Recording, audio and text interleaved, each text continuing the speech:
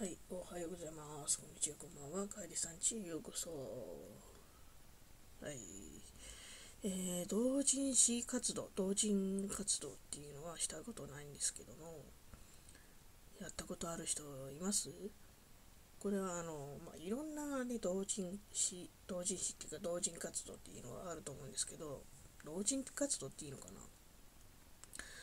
えー、まあ、コスプレだったりだとか、同人誌だったりだとか、ゲームのことが詳しい人のそういう、なんだろう、まあ、声優さんも含めて、ね、そういうことを披露する。まあ、大会に行って、まあ、優勝する。まあ、ね、入賞するっていうことを含めてたと思うんですけど、まあ、したことないですね。まあ、ちょっと、ちょっと行ってみたいなっていうのもありますよ。うん、あと、物販もあるみたいだよね。まあ、もちろん、その、えー、その、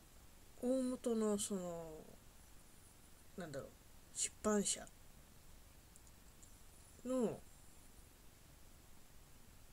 まあ、そこが売っているところだがあったりだとか、まあ、そこが許可した、ね、同人誌だって物販を売っているところもあると思うんですけど、うん。なんだろうね、同人誌のね。同人誌もすごいね、ありますよね。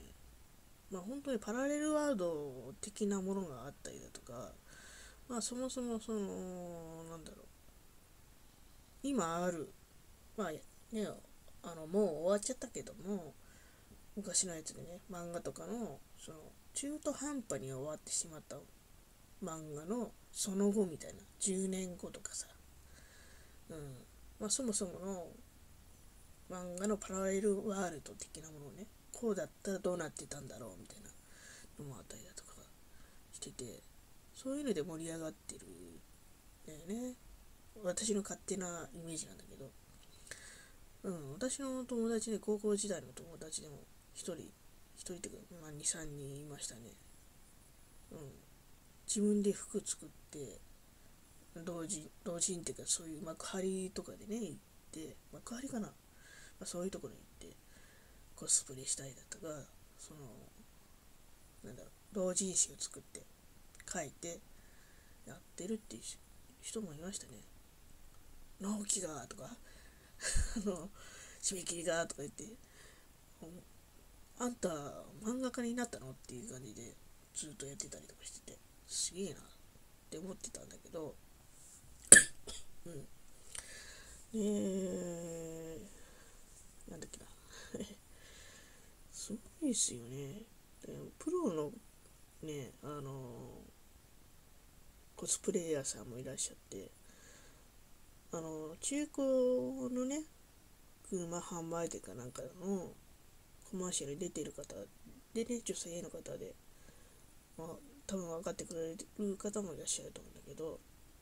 多分あの方もプロの方ですよね。うん。お名前は知らないけど。多分そのコスプレイヤー、好きなコスプレイヤーさんがいる方は見て、あ、あの人はまるまるちゃんだっていうね、わかると思うんですけど、ど。どうですか？役作りというかそのキャラゲームだったりだとか漫画のキャラになりきるためにそういうなんだろう体型を維持しなきゃいけないし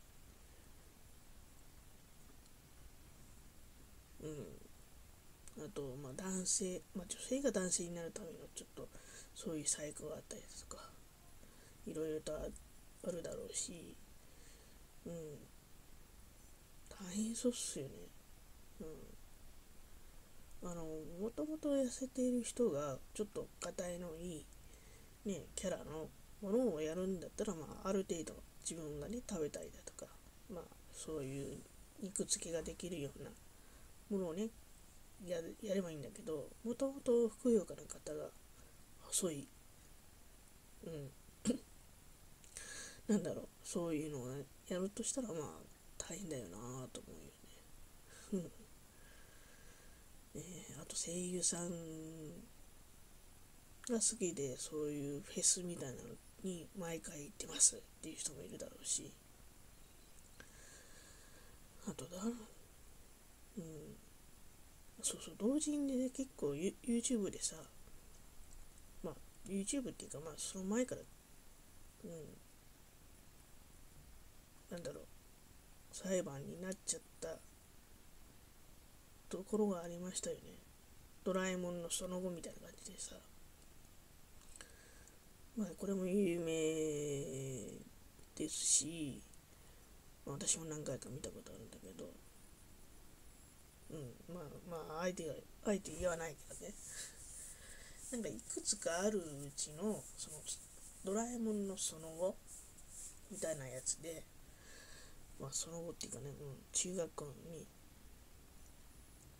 まあ、のび太くんたちは永遠に小学生小学校5年生ぐらいだけどまあ小学校を卒業して中学高校に上がってねその後どうなっていくかっていうのが本当にリアルで絵のタッチもその藤子不二雄先生の絵とほぼ変わらないので、まあ、もちろんねその藤子不二雄先生が亡くなった後に描いたものなんであ先生自体が書いてるあるあるわけではないんだけどうん。であまりにも似すぎちゃってるしまあそのね事務所的には事務所っていうか、ね、著作権とかそういうのもいろいろと管理している人、うん、事務所っていうか、まあ、弁護士も含めてなんだけどちょっとこれはどうなんだろうっていうことで裁判かなんかになったんだよね確かね。うん。で実質まあその書いた人があのまあ YouTube だったりそういう同人誌の場のところで